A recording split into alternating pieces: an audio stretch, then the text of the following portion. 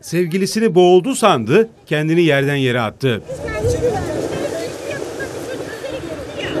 Görüntüler Zonguldak'tan. 28 yaşındaki Doktor Faruk Köker ve 24 yaşındaki Yekbun Melez piknik alanına gittiler. Birlikte denize girdiler. Köker kız arkadaşını sahilde bırakarak denizde yüzmeye başladı. Doktor bir süre sonra gözden kayboldu. Genç kadın arkadaşını göremeyince panikledi. Boğulduğunu sandı. Polisi arayarak yardım istedi. Ağlamaya başlayan genç kızı vatandaşlar teselli etti. Güzel kardeşim pardon. Gir, şimdi gireriz. Bak sandal çek. Bak sandal gidiyor bak. Orada bak ha bak işaret ediyor bak. Orada. Vatandaşlar sandalla denize açılarak kayıp doktoru aradı.